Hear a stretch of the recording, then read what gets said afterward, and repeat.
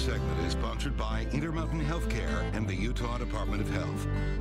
Gestational diabetes is diabetes that happens in pregnancy. So it's not somebody who's already has the disease, but somebody who develops it as part of their pregnancy. Between 2 and 10% of women are diagnosed with gestational diabetes while pregnant.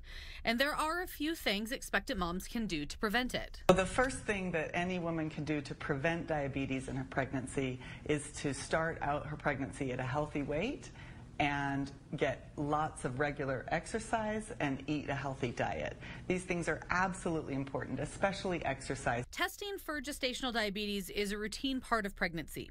It usually happens between 24 and 28 weeks. For the full conversation about gestational diabetes and how to manage it, be sure to download this episode of the Baby Your Baby podcast with myself, Jade Elliott.